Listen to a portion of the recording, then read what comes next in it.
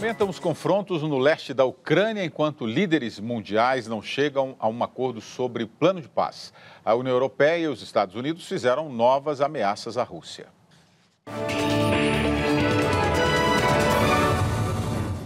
Ao lado da chanceler Angela Merkel, o presidente Barack Obama ameaçou enviar armas ao exército da Ucrânia. A União Europeia anunciou que tem um novo pacote de sanções pronto contra a Rússia acusada de financiar militarmente os rebeldes no leste da Ucrânia.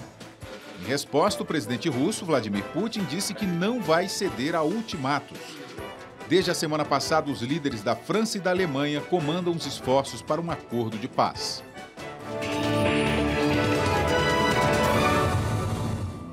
Um míssil disparado por um drone americano, um avião não tripulado, matou o líder do grupo Estado Islâmico no sul do Afeganistão, Mullah Abdul Rauf. Na Síria, o Estado Islâmico divulgou um novo vídeo em que o refém britânico John Kentley é obrigado a criticar a coalizão aérea comandada pelos Estados Unidos pelos bombardeios sobre as cidades.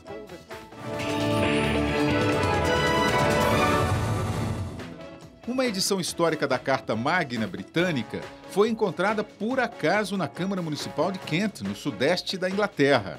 O documento foi estimado em 13 milhões de euros a carta foi selada como lei em 1297 pelo rei Eduardo I.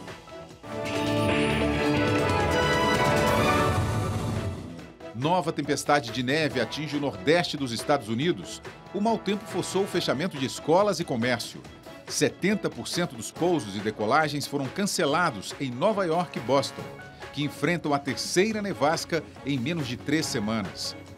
Em Michigan, os americanos aproveitaram o frio intenso para fazer esculturas de gelo.